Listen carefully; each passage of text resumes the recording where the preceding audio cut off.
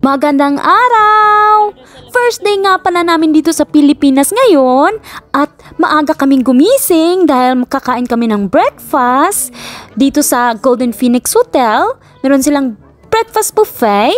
So ito na papasok na tayo at napaka-warm ng welcome ng mga staff. Yung mga anak ko, super happy sila kasi first time nilang kakain ng Filipino breakfast buffet. Super excited na rin ako at after 5 years, makakakain na rin ako ng pandesal. So ayan na nakita ko ng pandesal at sobrang saya ko talaga. Si Mr. naman kumukuha ng mga pancakes para sa mga anak ko. Meron para silang maraming tinapay, meron din silang cereal at yung meron din silang mga juice. Dito naman, meron silang lugaw. Ito ata ay lugaw at ito naman ay lugaw din. Masarap pala sa breakfast ang lugaw. Ito rice. Meron din silang yellow rice. Ano ba ito? Ito ay pansit ata.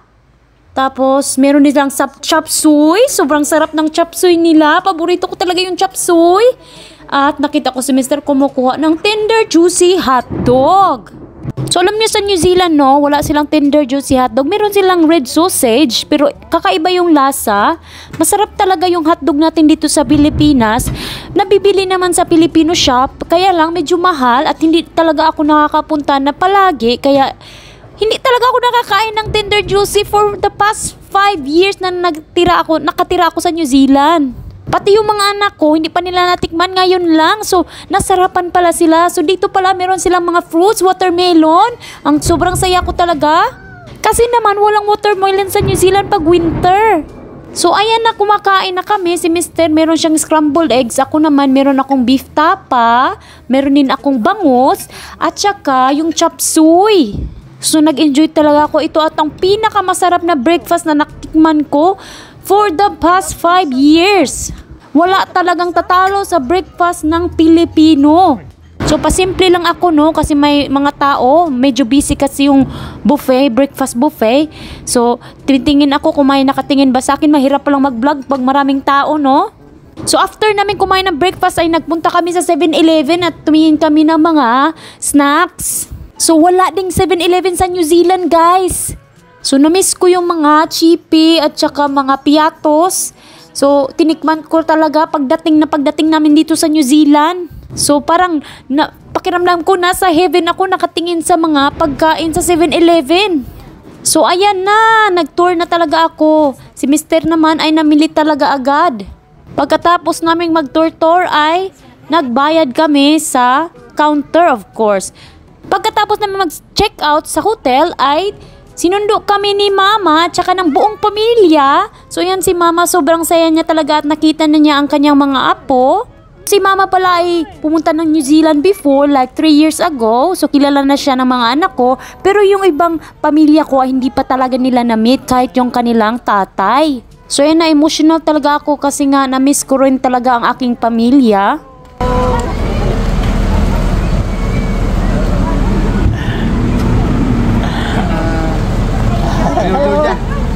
Hi, Liana. hey, Papa, how are you? Good to see you. Nice to meet you again.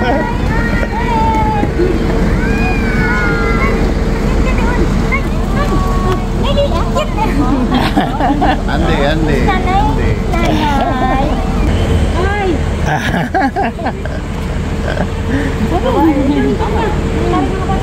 Hi!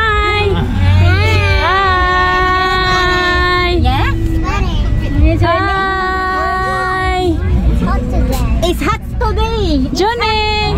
Johnny! Hi, So bibiyahe pala kami papuntang Cavite ngayon at sobrang traffic. So alam mo talagang nasa Pilipinas ka na no? Pag nakikita mo na ang mga jeepney. So sobrang tuwa ng mga anak ko kasi iba nga yung environment natin dito sa Pilipinas at sa New Zealand. Kaya si Silas talaga nakatingin lang sa window at tinitingnan niya na ang daming tao at ang daming sasakyan. Kahit si Mister na overwhelmed din siya. Talk English. Talk! Welcome to the McPherson vlog.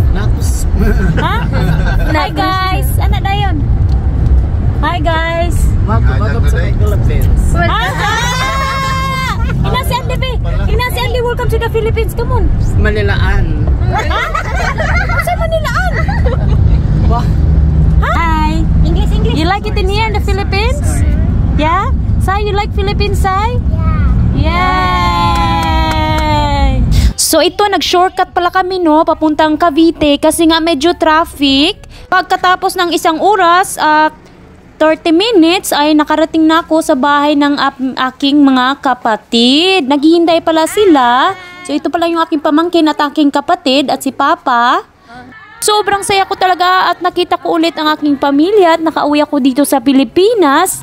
It feels good to be home talaga, no? Doon naglagay pila sila ng welcome pero hindi natapos kasi na shortcut kami at naaga kaming dumating. So ito pala mga kapatid ko ng mga babae. So ang dami pala naming magkakapatid. Kaya naman, ang dami ko rin pamangkin. So na shock yung mga anak ko. Ang dami pa na lang mga pinsan dito sa Pilipinas kasi nga doon sa New Zealand, konti lang yung mga pinsan nila. Sobrang tuwa nila kasi ang dami nila, ang dami daw nilang makakalaro. Ang init pala talaga sa Pilipinas, no? Para kang nasa loob ng oven. So pagkatapos pala nating mag-meet and greet, ay andito na tayo, namimigay na tayo ng mga pasalubong kasi talagang nasa listahan niya ng mga pasalubong para mag Sumaya naman ang ating pamilya, no? Pag uwi natin, merong pasalubong. So ayan na, pakilala ko sa iyo ang aking pamilya guys. Ang dami-dami talaga at sobrang init. Pinagpawisan talaga ako at pati na si Mister at yung mga anak ko namumula na sila. Pinagluto pala ako ng mama ko ng paborito kong dried squid. Dala pa niya ito galing Leyte. Bumili din kami ng mga prutas kasi na-miss ko ang mga prutas dito sa Pilipinas, especially yung mangga. So alam nyo sa New Zealand, eh, kakaiba yung mangga nila. Yung apple mango ata galing sa South America at hindi ko talaga gusto yun. So ito, nagbiyak din ako ng watermelon kaya lang medyo hindi ata sharp yung knife nila kaya naman hindi siya form na talagang perfectly cut yung ating watermelon. Nagkaano pa, medyo walang ano, hindi pa na sharpen nila. Meron din tayong banana kasi alam nyo yung banana sa New Zealand kakaiba din yung lasa. Hindi ko gustong gusto parang apa na hindi pa siya nahinog at nilagay nila sa barko, i-deliver nila sa New Zealand. Kaya naman yung lasa ay hindi talaga maganda. Tita, sit down. Sit down, tita. So ayan na, for the first time nakatikim na ng mangga ang aking mga anak at nagustuhan, nagustuhan nila si Silas hindi ata nano na asiman ata si Silas kasi medyo hindi pa talaga hinog yung mangga no. Meron pang greenish. Pagkatapos namin mag-party-party sa apartment ng kapatid ko ay pumunta kami ng Robinsons at nag-grocery kasi kailangan namang mag-stock up at si mama naman ay pinag-grocery ko din. Sobrang traffic pala at ang daming sasakyan. So after naming mag-grocery, ay nagpunta agad kami sa hotel para makapagpahinga. So dito pala kami magsistay habang nandito kami sa Silang.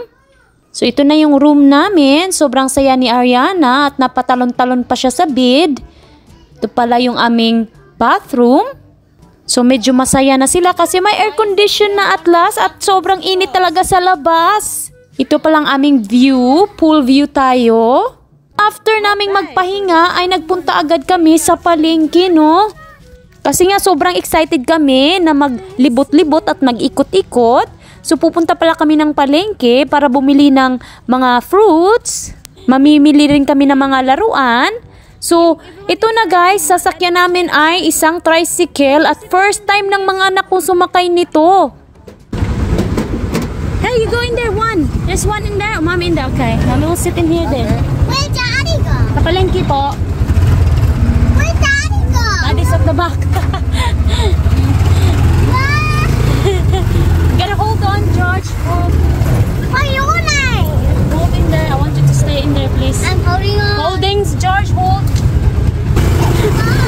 It's more fun nga in the Philippines, sabi nga, 'di ba? So ayan, sobrang saya ng mga anak ko at patingin-tingin talaga sila. So andito na pala kami sa Silang Market.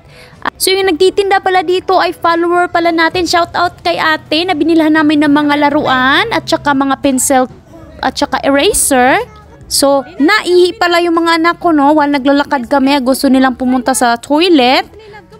Pumasok muna kami dito sa market kasi gusto kong bumili ng mangga. So, ang dami palang mangga at ang mura lang, no? So, ayan, ang dami-dami at nag-ice, nag-heart talaga yung aking mga mata at bumili talaga ako agad. Kahit 10 kilo siguro makakain ako ng mangga ay okay-okay na. After naming bumili ng mangga ay nagmadali agad kami para naman makaihi ng mga anak ko. So, Picturean mo, dali. Picturean mo natin sa car. ah, Dali. Lang, dali. Ay, Gabi na, dali. Dali, Gabi. cheese! So may na-meet pala tayong follower dito sa uh, palengke, no? Kaya nagpa-picture sila sa amin. Natuwa talaga ako. Thank you kay ate. Hindi naman kami mga artista. So after naming maglakad, andito kami sa Chowking, no? Kasi kailangan namin kumain ng dinner. So maagang maaga pa talaga, pero kumain na kami. Kasi nga nasanay yung mga anak kumain ng maaga. So ayan, nag-order pala kami ng chicken hanggang sa ano to, dulo ng walang hanggan kakain kami ng chicken. So, Chowking, ang sarap pala ng chicken yun, no? Shout out nga pala sa Chowking silang branch, napakabait ng mga staff nila. Sobrang sarap din ng food. Kahit si Mr. nasarapan talaga sa chicken at saka pansit. Yung mga anak ko halatang halatang pagod na pagod talaga dahil din sa init, no? Yung init talaga nakakapagod. Oh my goodness. So after namin mag-jogging guys, andito kami sa isang palengke na naman at namili kami ng mga bagay-bagay. So ayan, electric fan sa mukha ng mga anak ko para hindi na sila mainitan. Ilagay nila sa mukha nila. Namili din kami ng drawing book at saka mga coloring na crayon. So ang mahal na mahal, mahal na mahal pala ng crayons ngayon, no? Naalala ko noon, mga 20 pesos lang ang crayon. Pero ngayon, 75 pesos na pala. Nagbago na talaga ang panahon. Kung isang libo mo, isang iglap na lang pala. So ayan na, naglalakad na kami kasi pupunta kami ng Julie's Bake Shop at bibili ako ng peanut butter at saka tinapay. So after namin maglakad-lakad ay umuwi agad kami sa aming hotel. So ayan na, thank you for watching this video guys at magpapahinga na kami. I hope nag-enjoy kayo at sa susunod naman na vlog. Thank you for watching. Bye!